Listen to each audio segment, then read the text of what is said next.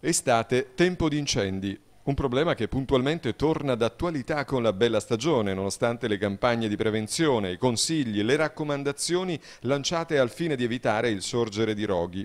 E il caldo afoso, come quello di questi giorni, di certo non aiuta. I vigili del fuoco sono chiamati continuamente a intervenire per domare piccoli o grandi focolai. L'ultimo grosso incendio in ordine di tempo è scoppiato nella tarda mattinata di ieri tra Torre Chianca e Torre Rinalda in direzione di Spiaggia Bella. Le fiamme hanno interessato un canneto che sorge lungo la litoranea. La fitta coltre di fumo che ha letteralmente invaso la carreggiata, infatti ha creato non pochi disagi anche alla circolazione stradale, particolarmente intensa in quelle ore. I pompieri, insieme agli operatori dell'Arif e ad alcuni volontari della protezione civile, hanno faticato non poco per domare le fiamme e scongiurare eventuali pericoli per residenti e automobilisti di passaggio. Il sospetto è che l'incendio sia di matrice dolosa.